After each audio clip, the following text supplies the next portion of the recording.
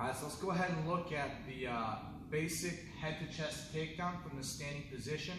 Uh, this is basically the first takedown that we teach you uh, in Jiu-Jitsu, okay?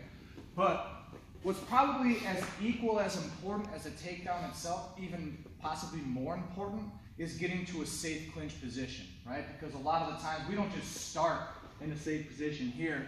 You know, if, if this is like an altercation that's happening on the street and he's ready to take punches, you know, take swings at me here, we're starting here, okay? Um, and it's very important that we talk about, you know, jiu-jitsu as a martial art, uh, jiu-jitsu in a self-defense scenario, we always got to keep in mind distance management, okay? Um, when we talk distance management, I never want to be in this middle ground unless you have some sort of striking background and feel uh, comfortable. Um, most people in jiu-jitsu, or if you just train purely jiu-jitsu, uh, don't have that background. So we never want to stay here because this is where he can develop a lot of torque and power into his punches, okay? I either want to be all the way in, so if you were to strike me, it's, it's going to be more annoying than anything. It's not actually going to really hurt. So either want to be all the way in, or I'm going to be all the way out. In fact, a lot of times we just teach you to be two arm lengths away here, all right? That way he can't hurt me from this distance. So if you were to take a step towards me, I have to maintain that distance and step back, okay? But let's just say, you know, I'm ready to make my move in, okay? I've been maintaining the distance, stepping back as he steps forward.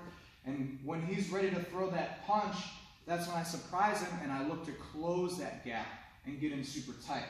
Okay, so there's a couple different ways that you can close this distance. Um, traditionally, the way that it's shown, shown is as he throws that punch, I bring both hands to the bicep, get my head to his chest, and then I circle around and get my clinch position here. Okay? That's certainly acceptable. Not my personal favorite way to close that distance, because uh, I feel like a lot of the times people are in the heat of the moment, they want to close that distance, they're going to be like kind of flinching back and going like this, right? And now you can really get hit with a punch, or as you can see, I can get, you know, knee to the groin, whatever. So even in practice, I see that a lot of times too, people will come in very tentatively as they practice, they'll just be here, right? And they keep their head way out here where if he's developed, if he's a really strong guy and throws that punch, this is not gonna help it, all right? So I like the idea of just keeping my hands up, and as he throws that punch, I'm getting my head directly to his chest. Okay, so I'm maintaining that distance as he throws that punch here. Okay, I don't want to go for my clinch as I close that gap. I want to make sure I keep my hands up the whole time. Because as he throws that punch, if I come in too early, boom, I'm getting hit right in the noggin. All right, so keep your hands up the whole time. Make sure we're not covering our face. All right, we got to be able to see. Keep our hands up at the side of our head.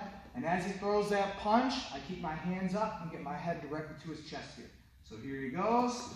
Boom. Once I'm here, now it's okay to move my hands away from my head and look to establish the safe clinch position, okay? So as far as holding this position, I want to make sure I have a T stance. Our feet are making a capital letter T. I'm grabbing my own hands like in a gable grip, or we can even grab our own wrist, right, whatever you prefer.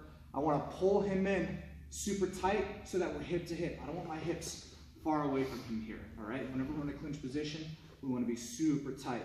Also important, my head positioning. A lot of times people keep, you see people keep their head way up by the shoulder here. That's not really effective to go for takedowns. I want to make sure that my ear is basically right over his heart. So think of it like you're trying to listen to his heartbeat, okay? So to do that, I have to bend my knees, all right? I'm not bending at the waist. I'm bending my knees, keeping my head directly over his heart. I'm pulling him in hip to hip, and I'm in my T stance here, okay? Now, to finish our takedown, all I'm going to do is push with my head and bump with my knee at the back of his knee at the same exact time. When I do that uh, correctly, both at the same time, he's going to topple over and I can either step over into mount right away, or you can wait until he's all the way down to the ground before we transition to mount. Okay, so we're here. I'll take him down, face with my hands. We always want to end in a good mount position here. Okay? So, again, always maintaining good distance here. As he throws that punch, head to chest, Get to my safe clinch here. right? And as you get more experience? As you get more experience, as you take him down, once you know he's falling over, we can actually transition to the mount position before we even hit the ground here. Okay? So as I take him down, I step over into a nice strong mount. Okay? Either are acceptable. You just want to end up in the dominant position. Okay? One more time all the way through.